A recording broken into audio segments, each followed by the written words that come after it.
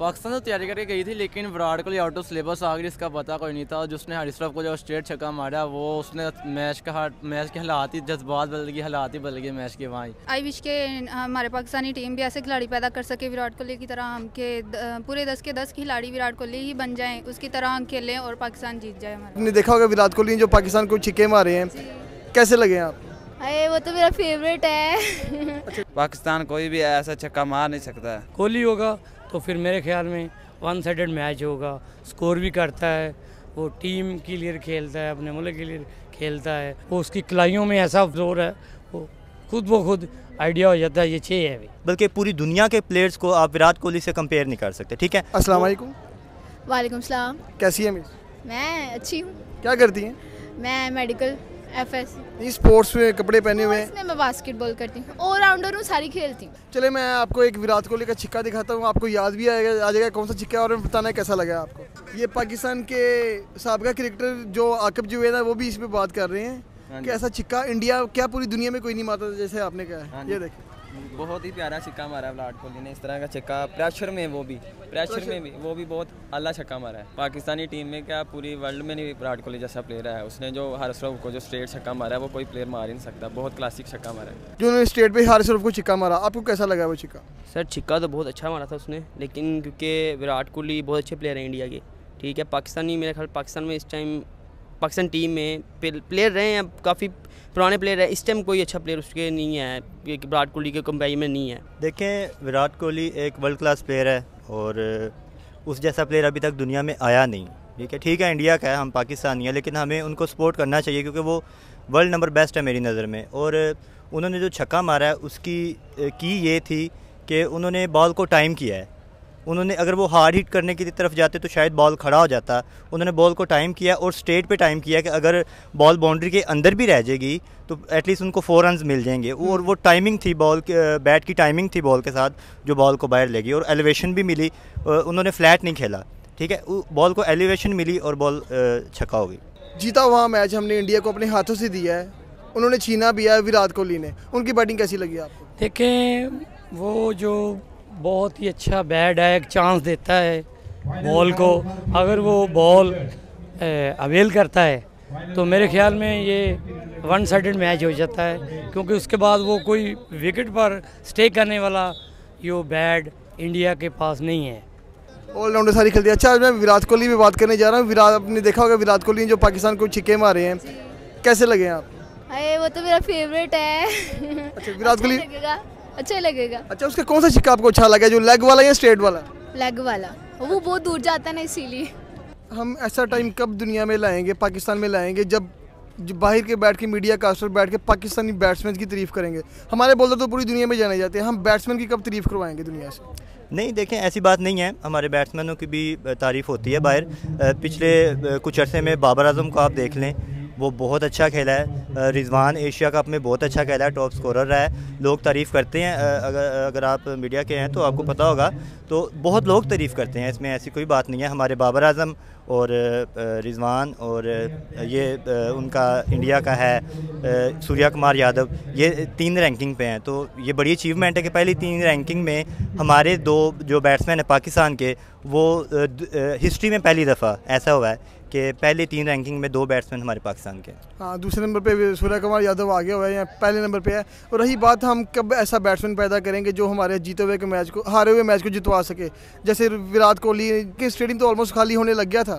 जब विराट कोहली ने शॉट शुरू की है, जब उसने अपना खेलना शुरू किया है अठारह बॉलों पे उन्होंने अड़तालीस स्कोर कर लिया देखें देखा जाए तो हमारे पास क्रिकेट टीम में मैच विनिंग प्लेयर्स बहुत रहे हैं, लेकिन वो ज़्यादा आपकी बात ठीक है कि वो ज़्यादा बॉलिंग साइड पे रहे हैं। बैट्समैन ऐसे कम आते रहे हैं कि जो मतलब मैच को फिनिश करें। उसमें एक लाला थे, शाहिद अफरीदी ऐसे बैट्समैन थे जो आके ऐसी इनिंग खेल जाते थे कि टीम सिंगल हैंडेडली मैच जीत जाती थी। लेकिन नो डाउट आपकी बात ठीक है कि बैट्समैन बैटिंग का फुकदान पाकिस्तान में अभी भी मौजूद है मैच विनर्स का।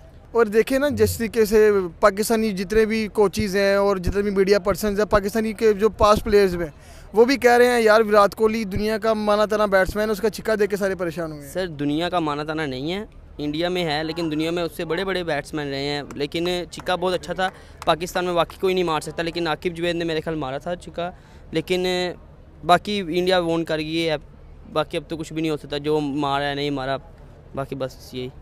आपको क्या लगता है पाकिस्तान ऐसे प्लेयर्स कब पैदा कर पाएगा विराट कोहली जैसे, जो कि सिर्फ़ अपने बारे में नहीं खेलते, हारे हुए मैच को जितवा सकते हैं, जैसे हम जीत चुके हुए थे? सर, देखें, पहली बात तो जो सिलेक्शन है, हमारे जो मुल्क में सिलेक्शन चल रही है, उसको ख़त्म होना चाहिए।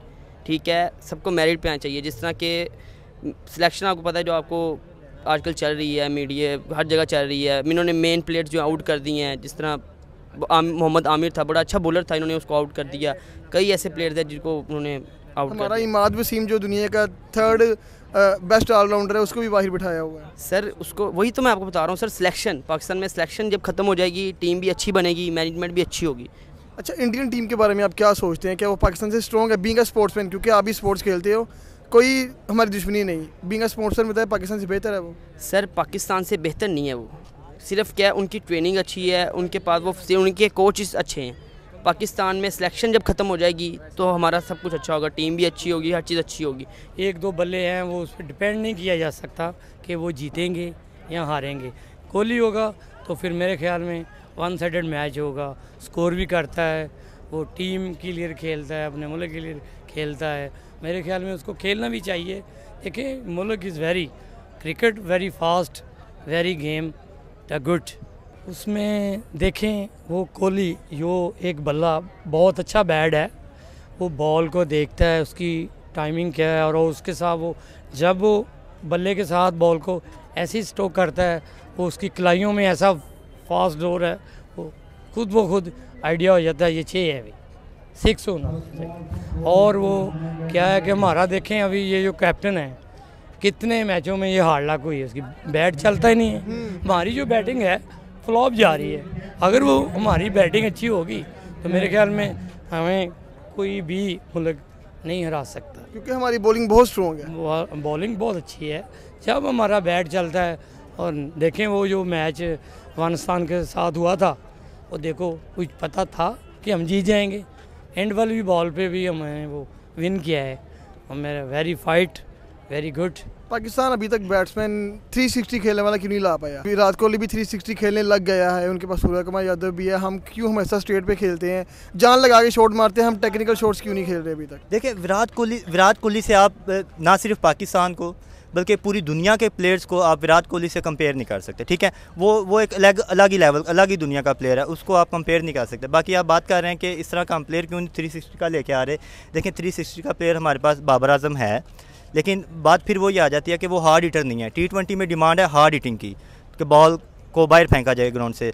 तो उम्मीद कर सकते हैं इंशाल्लाह नेक्स्ट बार कोई अच्छे प्लेयर हमारे पास भी आएँगे। आपको नहीं लगता उनके प्लेयर की फिटनेस ज़्यादा अच्छी है हमारे प्लेयर से? नहीं हम अगर पाकिस्तान में रहते तो हमारे पाकिस्तान ही अच्छे होंगे। आप किसी पाकिस्तानी प्लेयर के सिक्स पैक बता दें किसके हैं? यू मुझे तो नफरत है। अच्छा अंगूर खट्टे हैं आप। जी। कोई अपनी टीम को मैसेज देना चाहेंगे? मैं अपनी टीम को मैसेज ये देना चाहूँगी कि खेलें आगे बढ़ें और अपने घर वालों का नाम रोशन करें। देखे ना पाकिस्तानी टीम के पास ऐसे कोई अग्रेसिव बैट्समैन क्यों नहीं अभी तक आ पा रहे? ये पाकिस्तान को थोड़ा सा अपने अग्रेसिव बैट्समैन पे थोड़ा स्ट्रगल करने की ज़रूरत है। अगर वो करते हैं तो बहुत अच्छी क्रिकेट है पाकिस्तान में भी। जैसे बॉलिंग अटैक हमारा अच्छा है इस तरह बैटिंग अटैक भी हमारा बन सकता है। और रही बात हमारे जो इंडिया हमें तो मैच से पहले ही पता था कि विराट कोहली ने चलना ही चलना है हम इसके लिए होमवर्क क्यों नहीं करके गए थे? होमवर्क तो करके ही गए थे घर से पर थोड़ा सा शाहिन शाह अफरीदी से बॉलिंग थोड़ी सी मिसअंडरस्टैंडिंग होगी बॉलिंग नहीं अच्छी हुई नसीम शाह ने जैसे बहुत अच्छे अपने ओवर किए। पाकिस्तान तो तैयारी करके गई थी लेकिन Virat Kohli out of syllabus आ गई इसका पता कोई नहीं था। और जिसने हरिश्रफ को जो स्ट्रेट छक्का मारा वो उसने मैच का मैच के हालात ही जज्बात बदल गए हालात ही बदल गए मैच के वहाँ